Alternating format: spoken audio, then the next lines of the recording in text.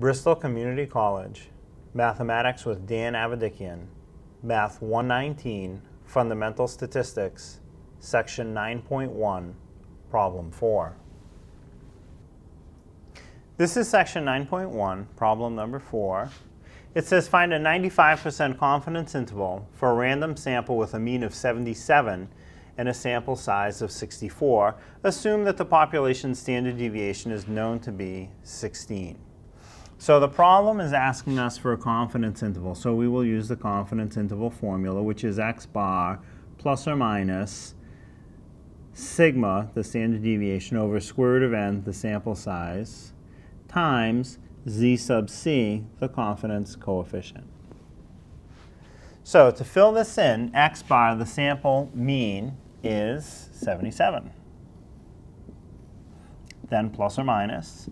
And now sigma, the standard deviation of the population is, it says assume that that's known to be 16. Divided by square root of n. n is the size of your sample, so it says sample size is 64. And then times z sub c, the confidence coefficient. So this problem requires a 95% level of confidence. So um, you can look up in a little chart that for 95% the z sub c is 1.96. And that's how the formula fills in. If you make a mistake very frequently, this is the point at which it's made when you fill in the formula. The rest is a matter of being careful, taking your time, doing the math in the right order. Once you have it filled in in terms of the right order, the first thing that you're going to need to deal with is the square root.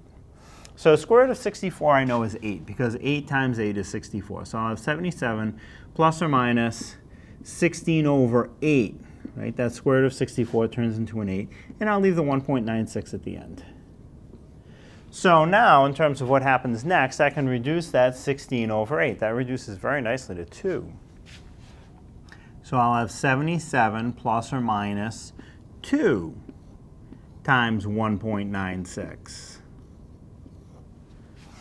And now the next thing that can happen is I can actually multiply 2 times 1.96. So I'll have 77 plus or minus 2 times 1.96 is 3.92. So that's what you would call the margin of error. The margin of error is 3.92. And now that I have one number after the plus and minus, I can split this confidence interval into a separate plus and a separate minus for the low end and the high end of the interval. So I like to put the low end first. So the low end for this interval will be 77 minus 3.92. 2, the upper end of the interval will be 77 plus 3.92. So now you can actually do that subtraction. 77 minus 3.92 would be 73.08. And the upper end of the interval, 77 plus 3.92, would be 80.92.